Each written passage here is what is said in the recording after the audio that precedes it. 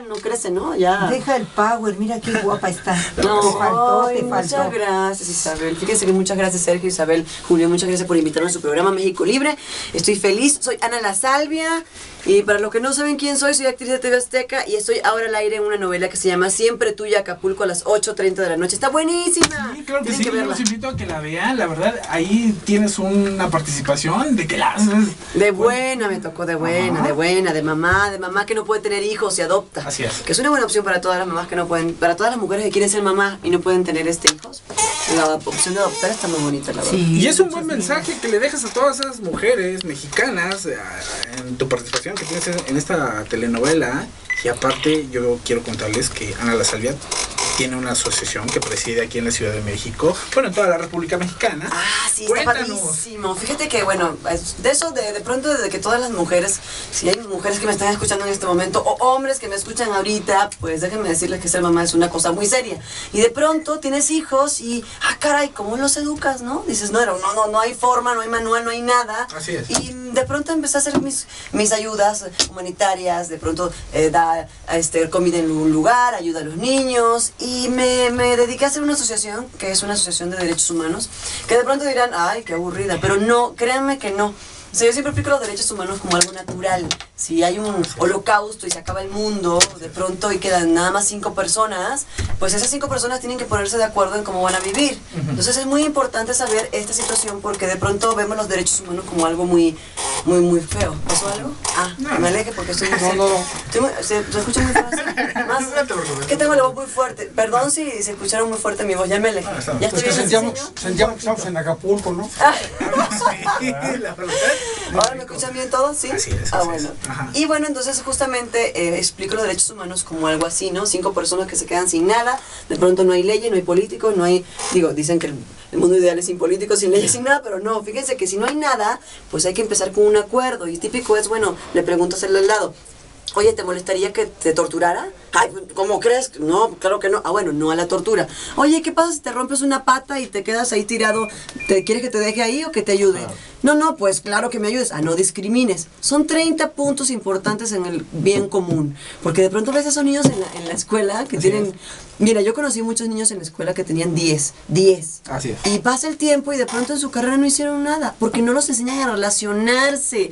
La vida es puras relaciones. Entonces, con esta asociación que tengo de jóvenes por los derechos humanos, es justamente enseñar a los chavos que está bien que hagan una carrera, que estudien, que ganen mucho dinero, pero si no desarrollan su capacidad personal, no van a ser feliz por, y no van a tener el éxito que quieren. ¿Por qué? Porque si consiguen dinero, de pronto van a estar más solos, de esos típicos que tienen mucho dinero y están solitos y Navidad y quien los acompañe, ¿no? O de pronto, pues no, no sienten esa, esa sensación de estar vivos. Somos seres humanos, no somos cosas, y las cosas no nos retribuyen y nos hacen tan felices como las personas. Conste que no estamos hablando de Carlos Slim, ¿eh? Ah, Nada que ver con eso, muy diferente. Y por tal motivo eh, invitamos a toda la gente de la ni iniciativa. Donald Trump, ni nada de eso. Ajá. Y por tal motivo te comentaba que invitamos a toda la gente de la iniciativa privada que nos está escuchando para que contribuya con esta asociación. Una asociación que yo la verdad tuve, estuve platicando con, con Anita aquí en el lobby y la verdad es muy interesante, es muy, muy buena la causa que tú haces, la verdad te felicito. Por eso invito a la iniciativa privada. ¿Dónde te pueden encontrar? Eh, encontrar en algunas redes sociales para que se puedan encontrar, eh, poder eh, poner en contacto con la asociación que tú presides. La página web es www.jovenesporlosderechoshumanos.org www.jovenesporlosderechoshumanos.org y bueno, también pueden escribir al, al mail lasalvia75 arroba gmail.com Pues ya lo escucharon gente de la iniciativa privada, aporten, la verdad, mochense y la verdad este, es un producto muy Antes de que padre. aporten y se mochen, yo quisiera hacer una, una pregunta, Ana. Eh, ¿Qué significa para ti el asunto de Mamá Rosa en Michoacán? Pues, pues, pues la verdad, ¿por qué me quieren, por qué me quieren preguntar cosas tan...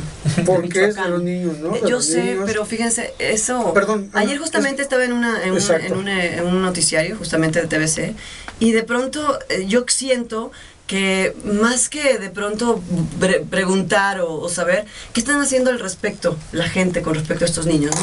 yo digo, y volvemos a la situación de, es que no me gusta hablar de cosas feas, pero volvemos a la situación de la asociación, ¿no? Me dice ayer, oye, ¿qué onda con estos niños? Sí, pobres, la verdad. La, la ley americana o la ley, este, lo de los migrantes o todo lo que ocurre con los niños, porque también eso se presta a trata de personas, porque obviamente los niños son maltratados en todos los sentidos, dices, caray, o sea, todo vuelve a la educación de un país, a la educación de los padres, ¿Por qué los niños están ahí? ¿Qué pasó con esos papás de esos niños, no?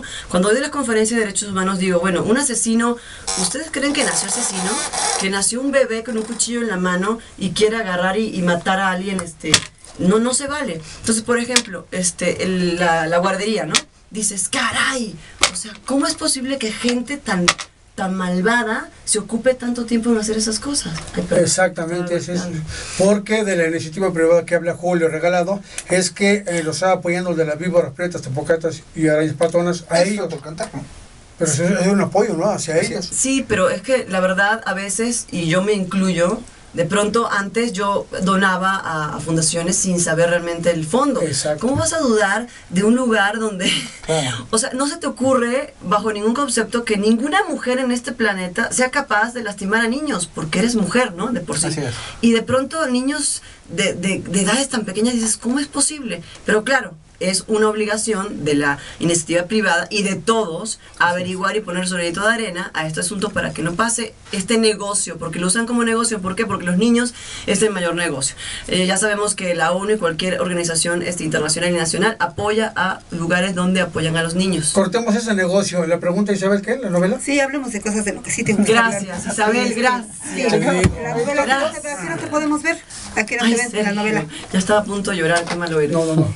Bueno, ¿A la te- novela, la novela siempre, soy Ana La Salvia, si no me conocen los que están escuchando, soy Ana La Salvia, soy actriz y conductora de TV Azteca. Tenemos la novela de lunes a viernes, el director, el, el que la programación de aquí dice, ya paren a la, a la masacre, ya hablen de cosas bonitas, estamos en espectáculos, caray. Exactamente. Si quieren verme, eh, Ana La Salvia, actriz, me pueden ver eh, de lunes a viernes en Azteca 13 a las 8.30 de la noche. La novela es Siempre Tuya, Acapulco. Está muy buena, está muy rosa, es una historia realmente, bueno, como novela al fin, que no cambia, pero vale la pena distraerse un poquito. Y si están en Acapulco, la verdad aquí entre nos, nadie nos escucha. ¿Nadie nos escucha? Pues la verdad, la verdad te la digo después. Ah, Foros de TV Azteca y punto. Pero está bonita, ¿no? bueno, hacemos también tomas de Acapulco, pero no es toda la novela. La verdad yo sí la he visto y la verdad está muy padre, muy recomendable. Oye, todas las chicas nos preguntan cómo le haces para cuidarte, cómo te activas. Lleva. Pues yo Empe- creo- Empezamos con el ejercicio. ¿Qué haces de ejercicio? Fíjate que lo que hago es mínimo, mínimo hacer algo, lo que sea. Mira, Así a veces es. no me da tiempo de salir a hacer ejercicio como tal o caminar, pero si estás en la casa puedes hacer 40 abdominales, 40 lagartijas cortitas con las rodillas y si lo haces todos los días, créanme, créanme, créanme que ves algo diferente. La gente piensa que de pronto está en su casa y hace 50 abdominales o 40 lagartijas o 40 sentadillas diarias y dicen, ah, eso no es nada. Pero Claro. créanme que de poquito en poquito se va llenando el cochinito y si ustedes lo hacen diario, funciona. Y aparte comer bien. Sí, la tortilla es riquísima y los tacos y no sé qué tanto. Y ya te acostumbraste a la comida el mexicana, ¿no? pancito. Y se te atascan, ¿no? Sí, la verdad, sí, bastante. Me gusta también el, la, la salsa picante y todo, está muy rica. ¿Extrañas la comida ve- venezolana? Fíjate que no tanto, como ya tengo tanto tiempo aquí, ya ni, a mí ni me ¿Te acuerdo. no? Pero luego te voy a invitar una pancita que está riquísima. Escucha la recomendación de Ana, ¿eh? Hacer eh, lagartijas. Es que Julio mm, apedrea las lagartijas. ¿El regalado? No, apedrea lagartijas. No, imagínate. ¿Por qué? nada más. Si la hay que hacerlas, no apedrearlas. A don Julio regalado. Ana, nos, te agradecemos mucho por estar aquí en esta tu casa. México Libre te da las gracias y Deporte Infinito. Muchas gracias a ustedes. Mi admiración para ti por esta asociación y mucho power. Muchas gracias, ¿eh? Cuídate mucho, cuídate mucho. Y aquí estamos viendo la novela. A mí me encanta. las novelas. Gracias. 8.30 de lunes a viernes, gracias. canal. 13. Eso, por Me parece, ya vamos de salida, ya se acabó el tiempo. ¿Qué pasó tan rápido, Oh, Isabel? Isabel, ya vamos. Ya, ya nos despedimos y me despido como siempre con una frase de Pablo Neruda. Sufre más aquel que espera que aquel que nunca esperó a nadie. Hasta la próxima. Julio regalado. Qué. Muchas gracias, con mucho power. Saludos a mi familia en Puebla. Anita La Salvia, nos despedimos, nos vemos otro día en TV Azteca. Sí, claro que sí, de lunes a viernes por Azteca 13 a las 8.30 de la noche, siempre tuya, Acapulco. A la salve, los quiero, cuídense. Yo soy Sergio Valdés Escalante, que soy Dios y mi Dios los bendiga hoy, mañana y siempre. Cuídense mucho, que tengan un excelente fin de semana. Hasta la próxima. Roberto. Que le mande beso, quiere. ¿Quiere beso? Ay, fue muy poquito tiempo. Es que yo trabajo